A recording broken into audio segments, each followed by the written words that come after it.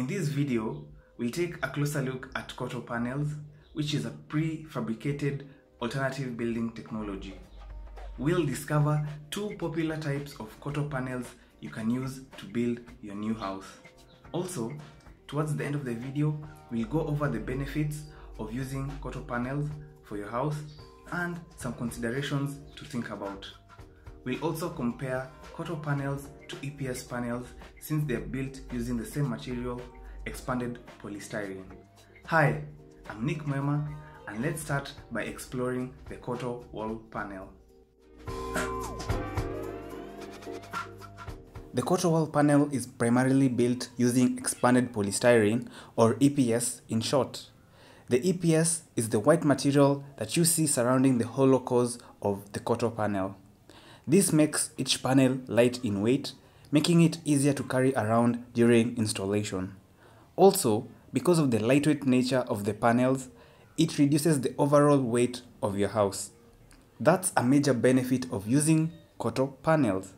Now, as I've said before, Koto panels have hollow sections between them, and they serve an important purpose because inside the hollow sections, concrete is poured to give the panels their strength. Also, reinforcement is added according to specified intervals depending on the design of your walls. This is an improvement over the traditional EPS panel, which requires concrete to be shotcreted throughout the face of the panel. This means that Koto panels require less concrete than EPS panels. Moving on, the face of each panel is pre-coated with a layer of plaster. The plaster is held in place by a fiber mesh that spans the entire panel. This means that you don't have to plaster your walls as that has already been done by Koto. This saves you the additional cost and time taken to plaster your walls.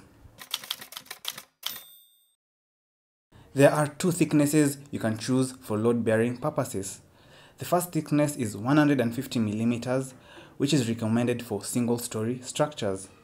The second thickness is 200 millimeters, which is recommended for double story structures. The length and height of the panels vary. For the length, you can choose between a 1.2 or a 1.8 meter long panel. The heights vary by a factor of 0.3 meters.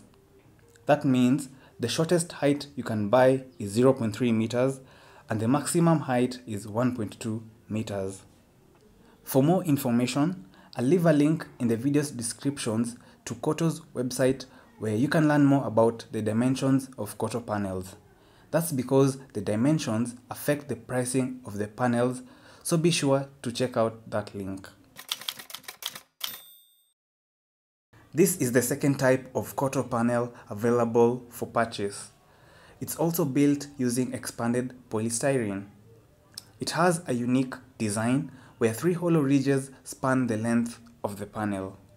The idea is to provide a sort of mold for beams that will support the slab. Also, the use of EPS reduces the dead weight of the slab. Steel rebars for the beams are also laid inside the hollow ridges. Because of this, the Koto slab panel is a time-saving technology of casting suspended slab for structures such as your house, for example. There are three differences between a Koto and an EPS floor panel. The first difference is the application of a plaster finish for the Koto panel. As you can see here, the bottom face of the panel has a layer of plaster applied to it. This will serve as the rough ceiling finish of the slab. An EPS panel doesn't have this finish, meaning you'll have to incur the time and costs of doing it yourself. The second difference is the lack of a steel mesh on top of the Koto panel. Instead, the BRC mesh is laid on top of the Koto slab panel and afterwards a layer of concrete is poured. An EPS panel has a steel mesh at the top and bottom, therefore saving you the costs of the BRC mesh. The third difference is the thicknesses of the panels. The Koto slab panel comes in two thicknesses, that is 150 millimeters and 200 millimeters panels. On the other hand, you have more freedom of choice with an EPS floor panel. There are 150, 190, 260 and 290 millimeter thick panels. The thickness depends on the design and the load bearing capacity of your house. This information is predetermined by your structural engineer. So we've taken a closer look at Koto panels and also compared them to EPS panels. Here are some considerations to think about. The first consideration is the use of expanded polystyrene. EPS is a byproduct of petroleum. If the price of petroleum goes up, then the price of Koto and EPS panels will also go up. So you need to take that into consideration during the budgeting process of your house. Another consideration is the heavy reliance of concrete. At the time of making this video, the price of cement has gone up across the country here in Kenya.